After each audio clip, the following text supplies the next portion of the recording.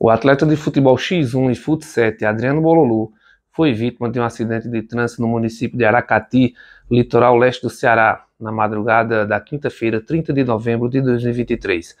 Detalhes desse caso conto a você em 20 segundos. Antes, queria só pedir para que participasse do canal Nordeste News, esse você assiste no momento, clicando nesse botão de inscrever-se e ativando também o sininho que fica ao lado para que possa receber as notificações dos vídeos que chegam constantemente por aqui. Combinado? Agora, depois de abertura, vamos ao que se sabe sobre essa notícia.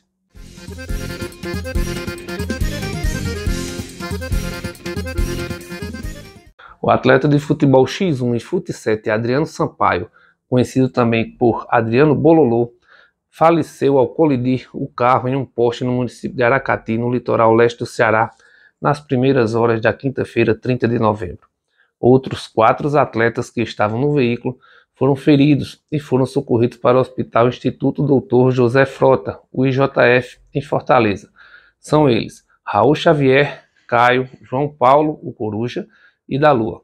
De acordo com o empresário Diego Gentil Tavares, da equipe de X1, da qual os atletas fazem parte, os jogadores viajaram para uma partida na cidade de Mossoró, no Rio Grande do Norte.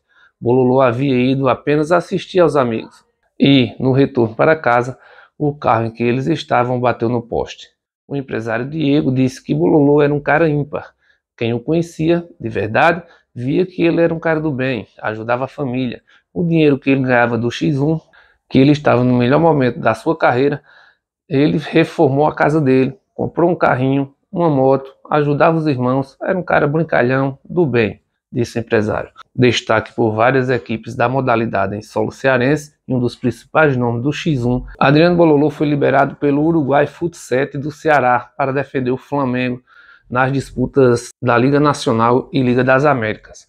Ele também já defendeu a seleção brasileira, além de ter jogado no Resenha do Piauí, principal equipe do país na modalidade.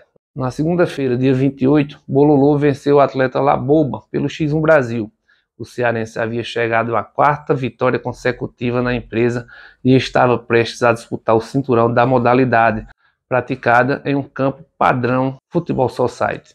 Que triste, né? Força aos familiares de Bululu, aos amigos, seus companheiros e até a próxima notícia.